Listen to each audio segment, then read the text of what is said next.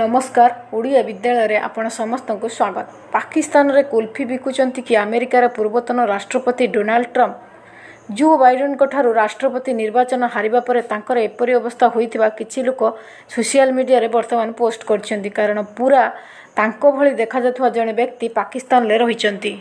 ସେ ଟ୍ରମ୍ପଙ୍କ ଭଳି ଦେଖାଯାଉଥିବା ବେଳେ ରାସ୍ତାରେ ଠେଲା ଗାଡ଼ି ଧରି କୁଲ୍ଫି ବିକ୍ରି କରୁଛନ୍ତି। ଏହାର ଭିଡ଼ିଓ ସୋସିଆଲ ମିଡ଼ିଆରେ ବର୍ତ୍ତମାନ ପୋଷ୍ଟ ହେବା ପରେ ଭାଇରାଲ ହେବାରେ ଲାଗିଛି। ଭିଡ଼ିଓ ଅନୁସାରେ ଟ୍ରମ୍ପଙ୍କ ଭଳି ଦେଖାଯାଉଥିବା ବ୍ୟକ୍ତି ଜଣକ ପାକିସ୍ତାନରେ ଗଳିଗଳିରେ ଜୋରରେ ଗୀତ ଗାଇକି କୁଲ୍ଫି ବିକ୍ରି କରୁଛନ୍ତି।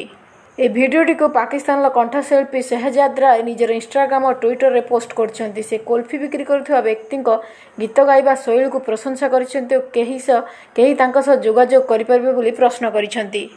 ତେଇଶ ସେକେଣ୍ଡର ଏହି ଭିଡ଼ିଓ କ୍ଲିପ୍ରେ ବ୍ୟକ୍ତି ଜଣକ କୁର୍ତ୍ତା ଓ ପାଇଜାମା ପିନ୍ଧିଛନ୍ତି। ସେ ନିଜର କୁଲ୍ଫି ବିକ୍ରି ଠେଲା ଗାଡ଼ିରେ ଠେଲା ଆଗରେ ଛିଡ଼ା ହୋଇ ଗୀତ ଗାଉଛନ୍ତି। ବ୍ୟକ୍ତି ଜଣକ ଆଲବିନ୍ସମ୍ ନାମକ ରୋଗରେ ପୀଡ଼ିତ ଥିବାରୁ ତାଙ୍କ ଚେହେରା ଧଳା ପଡ଼ିଯାଇଛି।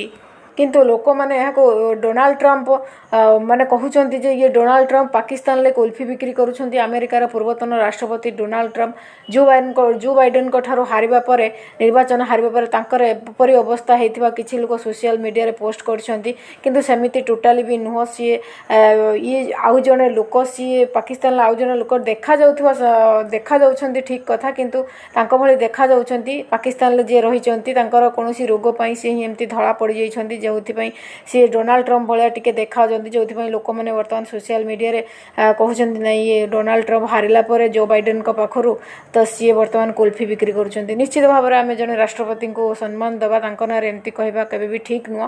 ଆଶା କରୁଛି ଭିଡ଼ିଓଟି ଆପଣମାନଙ୍କୁ ଭଲ ଲାଗିଥିବ। ଯଦି ଭଲ ଲାଗିଥିବ ନିଶ୍ଚିତ ଭାବରେ ସେୟାର କରନ୍ତୁ। ତା ସହିତ ଏମିତି ନୂଆ ନୂଆ ଅପଡ଼େଟ୍ ପାଇବା ପାଇଁ ଓଡ଼ିଆ ବିଦ୍ୟାଳୟ ଚ୍ୟାନେଲକୁ ସବସ୍କ୍ରାଇବ୍ କରିବାକୁ ଜମା ବି ଭୁଲନ୍ତୁ ନାହିଁ। ରହୁଛି ନମସ୍କାର।